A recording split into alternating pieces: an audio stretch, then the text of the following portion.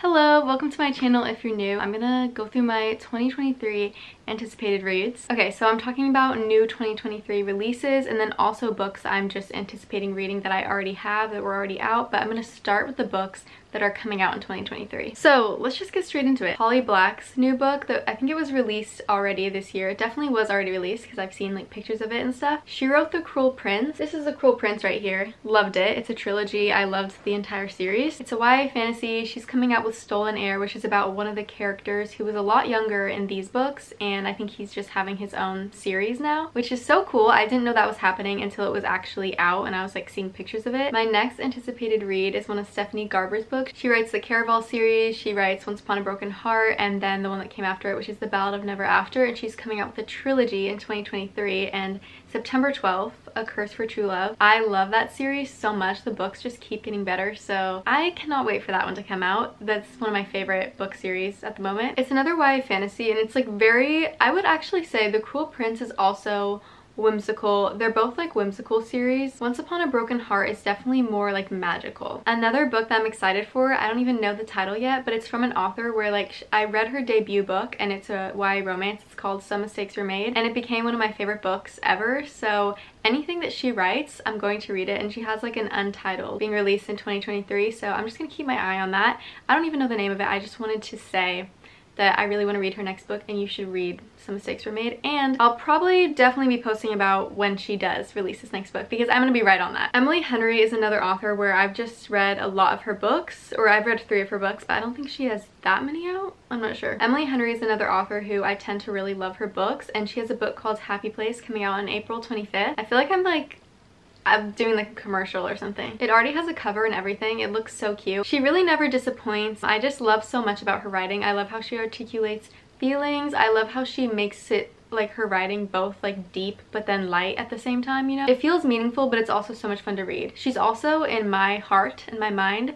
she's like the queen of writing banter. She writes it so well. And her characters always have so much chemistry. Okay the next book i'm pretty sure it came out yeah january 3rd so the next one is highly suspicious and unfairly cute by talia hibbert. It's a ya romance. Sometimes i just get in the mood for them because they make me feel so happy and light you know? Um i don't know when the next sarah j. Maas book is coming out but i'm really excited for the next one in the um, ACOTAR series. Um i don't know when it's coming out Farrah, put something on the screen if you find anything out about that. Okay, the next books I'm looking forward to, I actually have one behind me. This is the only one that I actually own right now, so um, it is Malibu Rising. I'm looking forward to reading this partly because my mom's already read it so we could talk about it together but also it does sound really cool and interesting. I know this is like a lot of like a book that a lot of people love. I'm currently like having a little obsession with her books because I read Daisy Jones and the Six and I read One, One True Loves and I love them both. And then I also have read Seven Husbands before and I love that. But I'm kind of on a roll with Taylor Jenkins Reid books so I feel like I should just stay on this roll, you know? Okay, the Mindfuck series is one that I have been not reading for a long time because it was so big and everyone was talking about it and I was just like, I just wasn't reading it. I think everyone I heard talk about that like loved it and was couldn't stop reading it. So I'm gonna do that except I want to get like the big book I think. Actually no, I might read it on Kindle Unlimited.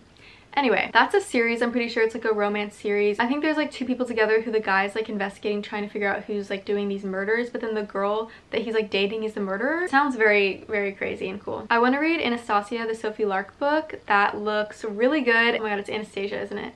I'm so sorry. I actually just recently watched the Anastasia movie for the first time and I loved it. I thought it was so good and I think that a romance around that would be like very interesting. I also really like a lot of Sophie Lark books. Um, I read the Brutal Birthright series and I liked a lot of those ones. So Okay, so now some Mariana Zapata books that I'm really excited for. I'm really excited for All Rhodes Lead Here and Wait For It. Those are just the two that have been on my mind lately and I know I want to read more Mariana Zapata books like in the future. Those are my top two anticipated reads of her books. Although I have Kulti, like I literally have that one, so I should just read that one. I'm just less excited to read that one for some reason right now. I want to read A Man Called Ove. Yeah, A Man Called Ove by Fredrik Backman. I want to read another literary fiction that's kind of like makes you feel and think a lot. It's one that I'm just looking forward to I've heard good things. I want to read Terms and Conditions and then also wait the third book's coming out this year. Shoot what is that one called? So the book that's coming out this year is called Final Offer. I read the Fine Print and I really liked it. I wasn't like it wasn't one of my favorite romance books but I really liked it. Terms and Conditions seems even more interesting to me. I think for me to get hooked on wanting to read Final Offer I'll have to see how Terms and Conditions goes but I'm really excited to read Terms and Conditions. I'm definitely going to get that and read it this year. Another one of my most anticipated reads is Juniper Hill. It's a romance. Oh my god, wait, it's a second book? Okay, so Indigo Ridge is one of my most anticipated reads. There's some sort of like murder, killer, crime stuff going on in this, and then it's also a romance. I've heard so many good things about it, and it sounds really interesting to me, so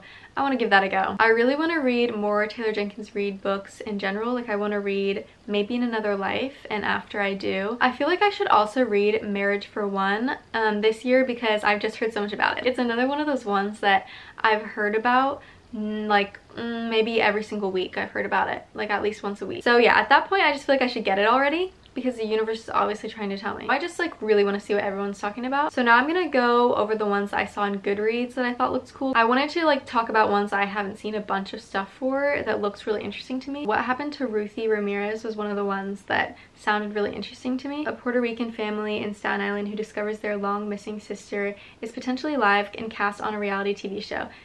And then it got me from there. Another one that I want to read is The Last Tale of the Flower Bride, a sumptuous, gothic-infused story about a marriage that is unraveled by dark secrets, a friendship cursed to end in tragedy, and the danger of believing in fairy tales. And lastly, some books that I have the physical copies of. I know I could have talked about these earlier, but I just thought might as well add them at the end because they are some of my most anticipated reads. The Dead Romantics this is a romance that I've been talking about, talked about on here before. Definitely one of my most anticipated reads. Another romance is Before We Were Strangers. I also am anticipating reading Furyborn. That's actually my next physical book that I think I'm going to read. Those are all the books that I'm anticipating reading or that are coming out in 2023. I hope that you enjoyed this, maybe got some ideas on what you want to read or just comment the ones that you're anticipating as well. Thank you so much for watching and I will see you in the next one.